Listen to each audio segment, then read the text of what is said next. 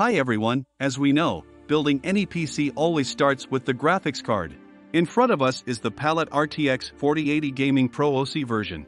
I will be doing a separate video review of this graphics card. While waiting for the modified shrouds for this card to be printed on the 3D printer, please subscribe to the channel so you don't miss it because this video will be interesting. This card has 16GB of video memory and performance that will meet the needs of any gamer. However, the performance of this card is excessive for this build. I chose it to show how overclocking on the 12400F processor bus works, so that nothing interferes with us in unlocking the potential of the processor in tests. However, if you are building a system for 4K resolution monitors, there will be no problem. With a focus on processor performance, there is likely to be no problem, but I recommend buying something like an RTX 3080, for example, the Game Rock, or an RTX 4070 for QHD resolution. The card is equipped with a 16-pin power connector, and comes with an adapter that requires two separate cables for the power supply unit, and we will use it. We will also see if the cover with this adapter will fit with our today's case. The Deepcool CH510 Mesh Digital, this case is interesting because it easily accommodates a three-section water cooling system at the top and comes with a set of dust filters, magnet-mounted glass, built-in graphics card holder, and decent cable management. You can see it on the screen, as well as a built-in monitor that displays the CPU or GPU temperature according to your choice. To do this, you only need to connect the USB connector to the motherboard and download the program from the Deepcool website. The downside of the case is that you need to find additional fans as it comes with only one 120mm fan. Without much thought, I took three Arctic 140mm fans, specifically the PST version, as they have the ability to connect fans to each other in a single chain. But there is one caveat, I couldn't fit three 140mm fans on the front of the case, only two. However, I don't think this is critical, if you want three fans on the front, it's better to take three 120mm fans. I don't really like lighting, but if you want it, for example, you can take a look at the Deepcool CF120. I chose the Deepcool AS500 cooler because it provides almost the same level of cooling as the AK620. The AS500 is taller and comes with a quiet 140mm RGB fan and an RGB controller in the package. The most important thing is that it does not block the RAM, and if desired, additional cooling for the RAM can be added. Another reason I chose the AS500 is that it does not block neighboring RAM slots, resulting in lower RAM temperatures. We will be cooling an i5-12 400F processor with the MSI B660M Mortar Max Wi-Fi motherboard. Note that only the Mortar Max has a clock generator and the ability to overclock non-K processors via the bus. It is important to remember that the regular Mortar version does not have this capability. We will also install the Thermalright frame immediately. With this frame, the processor will bend less, resulting in the entire cooler's lid fitting tightly against the processor, reducing its temperature. This issue is present in practically all LGA 1700 motherboards.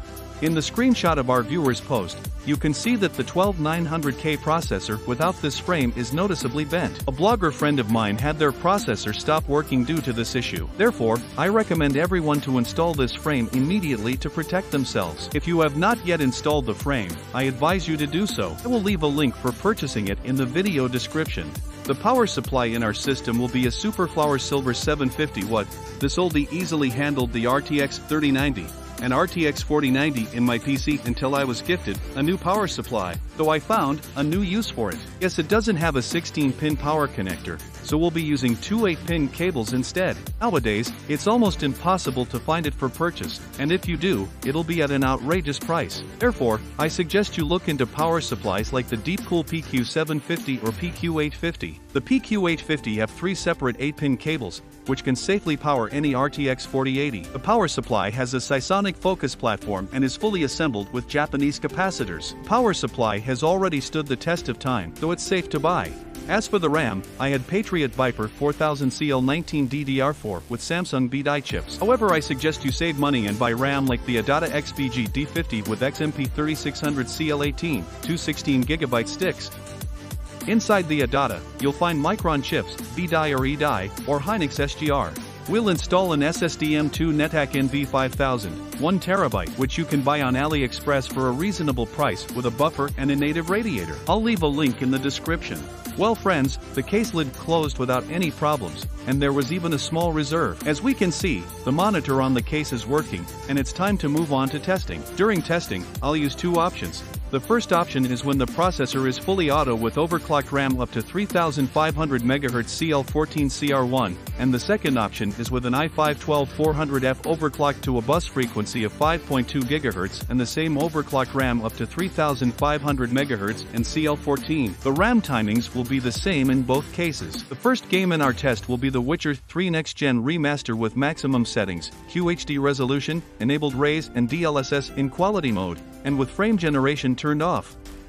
The difference was as much as 15 frames, namely 60 versus 75. And this is not a mistake, I checked. The Witcher responds very well to core overclocking. And keep in mind that here the memory is overclocked and secondary, tertiary, and quaternary timings are tuned. Here, for example, is the FPS you will get on this configuration if you build a PC and never enter the BIOS, scientifically called sitting at stock settings. Only The Witcher, unlike other games, reacts so strongly to overclocking. Unfortunately, there is not such a big difference in other games.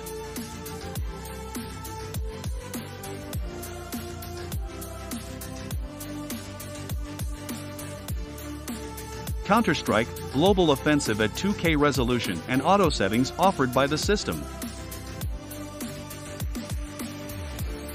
The final benchmark result for us was 476 frames rendered by the system without overclocking, and overclocking via the bus gave us 525 frames. The difference was 50 frames.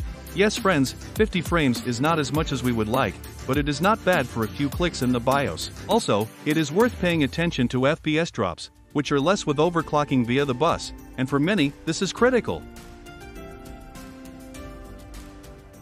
Cyberpunk 2077 with all settings on Ultra, Full HD resolution, quality DLSS, and enabled RTX. Without overclocking via the bus, the average was 101 frames, and the minimum was 42 frames. With overclocking via the bus, the average was 111 frames, and the minimum was 50 frames. The increase was within the margin of error at 2K resolution. But here's what's interesting, without overclocking via the bus, the minimum FPS was 40 frames, and with overclocking via the bus, it was 66 frames. The increase is small, but it exists.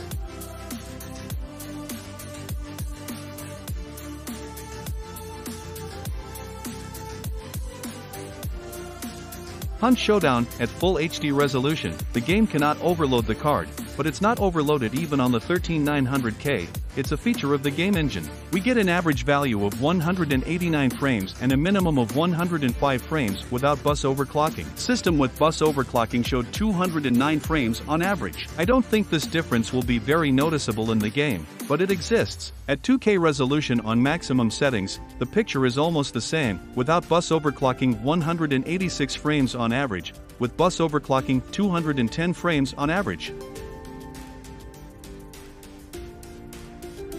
Shadow of the Tomb Raider maximum settings, Full HD. We get 211 frames on average without bus overclocking compared to 236 with bus overclocking. By the way, in the case of bus overclocking, we were able to load the video card and reach its limits. At 2K resolution, we get 199 frames on average without bus overclocking compared to 209 frames with bus overclocking. It's also worth noting that the higher the CPU overclock in this game, more dependent the graphics processor becomes. In other words, overclocking is definitely worth doing, but I wouldn't buy an RTX 4080 for the i5-12400F even with bus overclocking and a QHD monitor, and I'd save up the 13600K for a more comfortable game with the RTX 4080 and older cards.